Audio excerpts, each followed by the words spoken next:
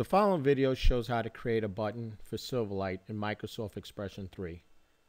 This file will be the base for multiple movies such as creating gradients, importing graphics, creating behaviors, but in this movie we'll simply create a button, modify its normal, mouse over, and press states, and add some animation, animation effects between those states.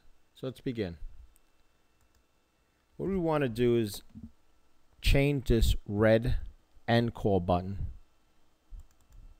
which is right now just simply a path with a gradient. There's really not much the user can do with this.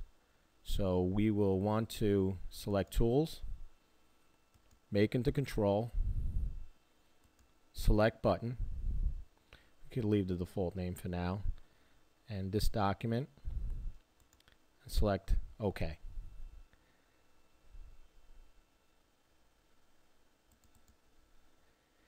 And just by doing that, uh, in the states panel, we now have normal, mouse over, and pressed. And as soon as we click it, recording begins. And each one of those states are currently the same. So what we want to do is modify the mouse over and pressed states so the user can actually see something visually happening. So let's select mouse over.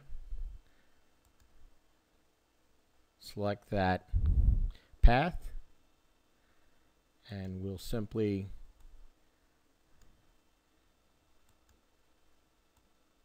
make the gradient a little bit more pronounced.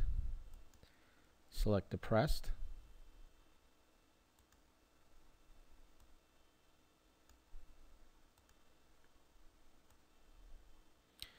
And that looks about right. So let's look it over. That's the normal. That's the mouse over. And that's the press. Looks good. So I guess we could leave it like that right now.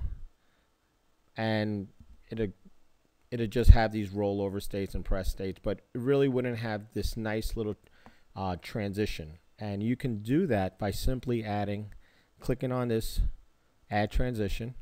What you want to do is hit this asterisk to normal and modify the time to 0.5. It seems like, like that's a nice time to actually leave it.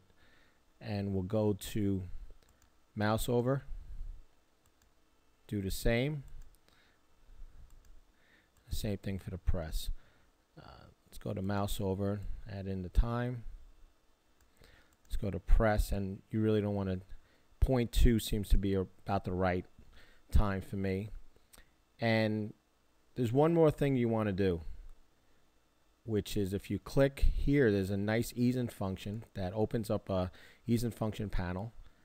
And you want, been playing with this. I like the cubic in for the normal.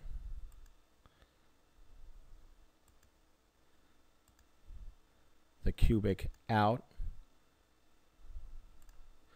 the mouse over and I'll leave the press that way. Okay, let's turn this off.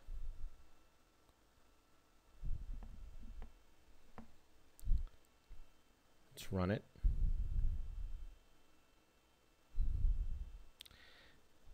And there goes the mouse over, and there goes the press. So this concludes this movie and creating buttons for Silverlight and Microsoft Blend 3. I look forward to any questions or comments you may have. Thanks.